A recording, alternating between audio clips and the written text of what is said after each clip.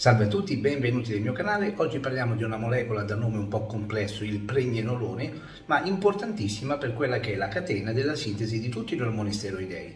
Dal colesterolo ormai dovremmo sapere che inizia la catena di sintesi degli ormoni steroidei. Il colesterolo in effetti è la prima molecola, è la nonna di tutti gli ormoni steroidei e il colesterolo viene internalizzato all'interno del mitocondrio e con la mediazione di una proteina chiamata STAR che permette appunto al colesterolo di entrare nel mitocondrio il quale poi attraverso azioni enzimatiche viene idrossilato a pregnenolone.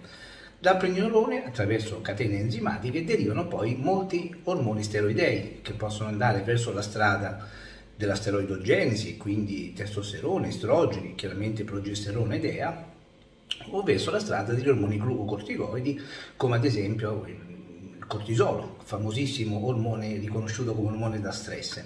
Perché dico questo? Perché mi allaccerò poi a una, un concetto che dirò alla fine del video, di quanto il cortisolo può impedire o contrastare la formazione degli ormoni steroidei, testosterone ed estrogeni. Il pregnenolone perché è importante? Ma uno l'abbiamo capito, questa azione fondamentale di precursore degli altri ormoni. Se abbiamo scarso pregnenolone, anche la sintesi degli ormoni a valle ne risentirà, quindi avremo probabilmente una scarsa quantità degli altri ormoni.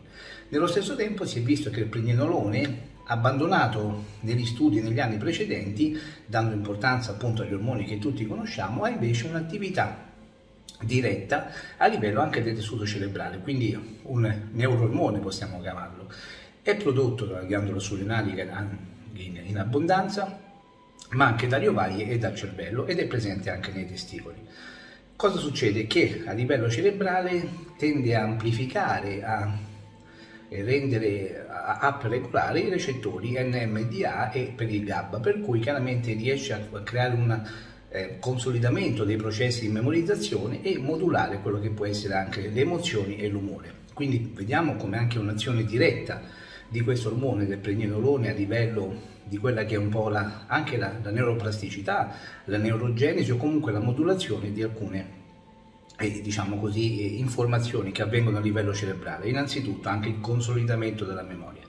Ci fa capire come la sua scarsa presenza, specialmente nell'età più evoluta, si, ad esempio, manifesta più delle volte con una scarsa capacità di attenzione e di memoria. Quindi non sempre solo il testosterone e gli estrogeni sono protagonisti di questi avvenimenti. Quindi ricordiamolo come il nonno di tutti gli ormoni e come molecola neuroattiva, capace essa stessa di modulare alcune funzioni del nostro cervello.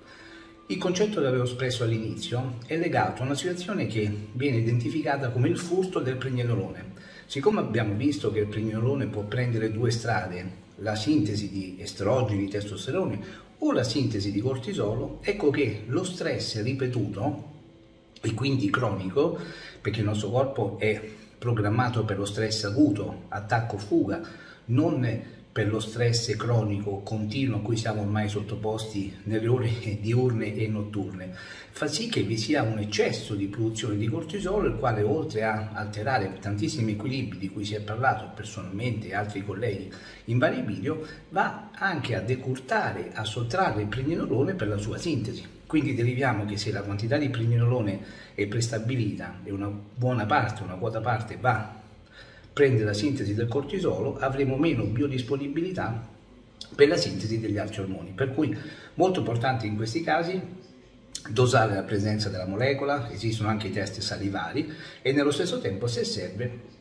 è chiaro combattere lo stress, ma nella impossibilità di fare questo, una integrazione esiste come molecola anche come ormone bioidentico, prescrivibile chiaramente dagli specialisti che sono abilitati a questo e potremo in questo modo equilibrare la carenza o il furto di pregnenolone. Bene, con questo vi saluto, ci vediamo come sempre a un prossimo video e auguro a tutti un buon fine settimana.